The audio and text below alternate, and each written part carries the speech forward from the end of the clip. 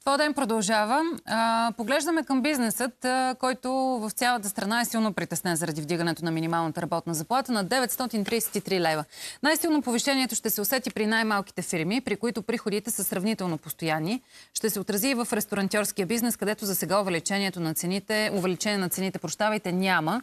Ще доведе ли това до съкрещения обаче? Цеца Алексова включваме с повече информация за тяхното недоволство и опасения от повишаването на минималната работна заплата. Цеци, здравей!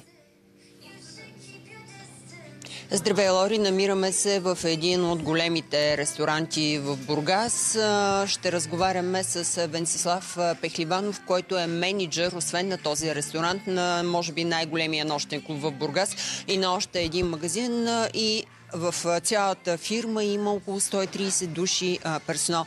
Господин Пеклеванов, как увеличаването на минималната работна заплата ще се отрази на фирмата ви относно разходите за осигуровки и за всичко това, което трябва да плащате непредвиден? Добър ден първо на вас и на вашите зрители. Ами как? С увеличаването на минималната работна заплата неминуемо се увеличават нашите разходи за труд и осигуровки, които средно ще бъдат около 20%. Така че тази цена ще трябва да платим ние. Със сигурност това ще се отрази на много наши колеги. Ние ще се постараем да няма съкръщения следствие на тези нови разходи и да запазим персонала, който работи при нас. За 130 души персонал с увеличаването на минималната работна заплата, правили ли сте изчисление годишно колко допълнително трябва да внесете в държавната хазна? Средно за човек за година ще бъдат около 2000-2100 лева. Така че вие направите сметката за 130 души, колко пари ще трябва да внесем за година. Как ще бъдат компенсирани тези разходи? Ще се стигне ли до увеличаване на цените за нас, крайните потребители на храна, напитки в заведенията? За момент не искаме да вдигаме цените, конкуренцията ни е голяма, така че ще се постараем за това ние да задържим цените за крайния потребител към момента и да няма повишаване на цените. Вие сте големи обекти с а, доказан вече имидж в а, Бургас. Ще се наложи ли обаче да спестявате, като освободите част от а, персонала?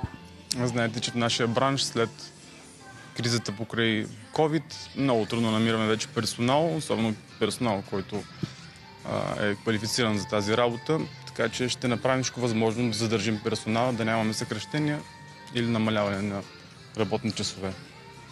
Вие така или иначе контактувате с ваши колеги, които са с по-малки заведения. При тях как това ще се отрази? Какви са техните опасения? Може ли да се стигне до затваряне на заведения? Със сигурност колеги, които работят с по-малко персонал, за тях това ще бъде доста сериозен удар в бюджета и има голям шанс такива малки обекти да затворят, да обявят фалити или да минат сивия сектор вече тук не можем да бъдем сигурни как ще се протекат. Благодаря ви. Както чухте мнението на бизнеса, поне за сега в големите заведения няма така настроение за освобождаване на персонал. Както знаете и както господин Пехливанов каза, сервитьори, готвачи са изключително ценен персонал, особено когато е квалифициран, но дали ще се наложи на малките бизнеси да освобождават или пък да минат в сивия сектор, времето ще покаже. Цеци, благодаря ти за тази информация. Продължаваме темите